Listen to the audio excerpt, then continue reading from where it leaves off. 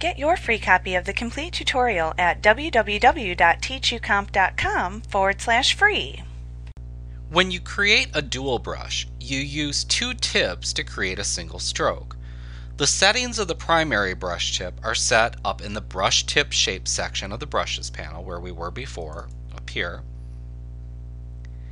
Then in the dual brush section, we can set the tip of the secondary brush. Now before we do that, we're going to remove the scattering and the texture that we've applied so that we can get a better feel for what this looks like.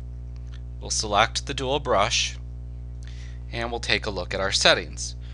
You begin by selecting a blending mode from the mode dropdown at the top of this section to select a blending mode to be used when combining brush marks from the primary and dual tip. So you have multiply, darken, overlay, color dodge, etc. We'll just select overlay.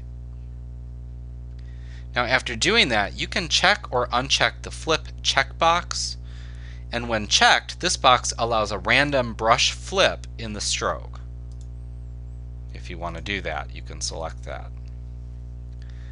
Then you select what type of brush tip you want to use as the secondary tip in the scrollable list of brush tips available. Give one of those a click. And below that you can set additional brush tip options.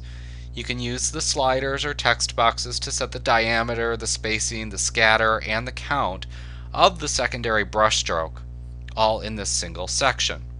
And then you can paint in your image like that. And that's all there is to setting dual brushes.